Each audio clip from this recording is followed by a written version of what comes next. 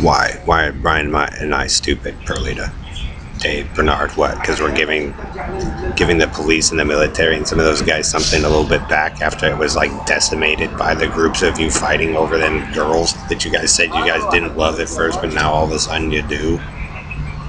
Is that why Brian and I are stupid and my dad's stupid, huh, Perlita? Because some of us believed in something, Perlita, but we'll never get to see that again. And what parts of it we did get to, it didn't last that long. So how am I, how me and Brian stupid? After what they've got to go through in the last, who knows, 14, 15 years, it's the least we should be able to do for them, for the police officers and the military, because they have to work all the fucking time. And most of you get the free ride. Like I said, if the world was a little bit on the other side of that, it would be beneficial to both. But you guys run a torture chamber multiple times, Perlita, with Bernard and his carney, and you guys lie about it, took stuff, ripped out whole realities that took work, and that guy's whole life is centered around trying to destroy me. And every time he's done it, it just gets worse because they've lied.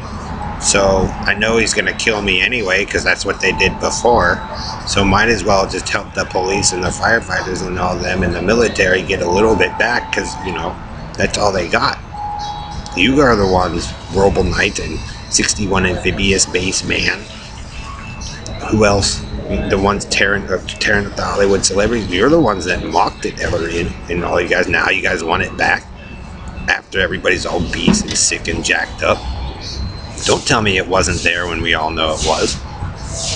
So, stupid. Me and Brian? No, because me and Brian are pretty much jacked up.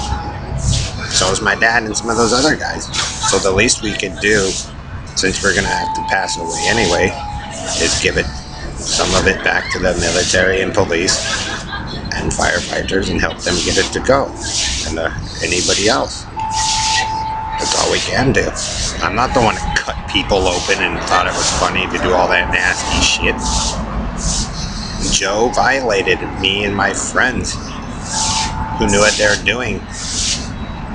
You adults didn't want to give the children a chance to build it. So, that's all I got. You jacked up my face, my eyes, I can't do shit. That's fucking why it don't work. So you guys who do that live in denial and experimentator and crack. It's you guys' sicko joke. It's self-centered. So if you didn't have it, you guys would have a different reality. You probably wouldn't even gone to war over this stuff out here. But hindsight 2020. So I just think Perlita and Bernard and the bit of bat four carnies swap around because they're jealous. Because they're getting it to work an older way. And there was a reality a long time ago, if that was me alive, that I would have wanted to be a part of that I wasn't allowed to because you guys took advantage of me and my friends trying to evolve you guys to see that. But we can't see you. Well, we got to see the ones of the Destructo team. And well, it stank. That's why I say no ghetto life, please. No country and western. No carny, but they let Team Spoiled have it. And like I said, DOD 101, they're going to teach you, Perlita, here in the East Coast, West Coast, because you keep asking the question, wait, where, where? They're going to teach you why your process doesn't work. Because I won't be here. But it'll take a lot of work to get you guys back to what was never yours in the first place. Get it, Perlita? Dave, Robotine? They'll let you, but it'll be under a thumb.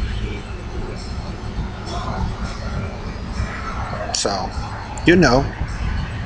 Don't sit there and call people stupid, Perlita, when you don't have all the history of an area or a state. You guys just went ghetto banging. And that's always been the problem out here. That's why I came back, because I paid attention to some things my parents said and some other people said to see if the theory was correct. So you guys won't know that reality because those of you who moved in through, through certain decades didn't respect it. And those people leave, like the Jews or the Russians or the Japanese, that you, you're more the bitten that are left here that you guys destroyed. So, you know, you won't get to know the reality of those people because, you know, you guys kill them. And well, Bernard, that's fucking stupid because they're some of the ones that built the reality that you all destroyed.